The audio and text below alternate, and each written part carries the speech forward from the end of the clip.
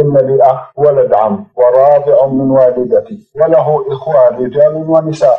وكذلك أنا لي إخوان رجال ونساء فهل يجوز لإخوانه الأكبر منه والأصغر الزواج من شقيقاتنا؟ وهل يجوز لنا الزواج من شقيقاته الأكبر منه والأصغر؟ وحيث كما هو معروف أنه يصبح أخا لنا جميعا من الرضاعة وإلا يجوز شقيقاتنا له فهل شقيقاته يجوزن لنا؟ وجهونا حول هذا الموضوع. جزاكم الله خيرا. والرضع من أمكم يكون رضع من أمهم. نعم. راضع من والدتي إذا رضع من والدته فإنه يكون ابنا لها. وأخا لك ولجميع أولادها من أبيك ومن غيره إذا كانت لها أولاد من غير أبيك كل ما ولدت هذه المرأة يكونون إخوة لهذا الذي رضع منها. لا يجوز له أن يتزوج منهن ولا يجوز لأولاده أيضا. وأولاد أولاده أن يتزوجوا من أولاد هذه المرأة وأولاد أولادها مهما نزلوا ولا من محارمها أخواتها وعماتها خالاتها كلهم محارم. محارم هذه المرأة يكونون محارم لهذا الرضيع. أما بالنسبة لكم أنتم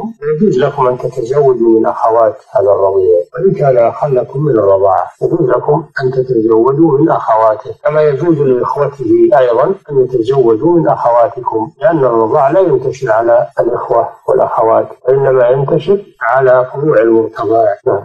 جزاكم الله خيرا وأحسن إليكم.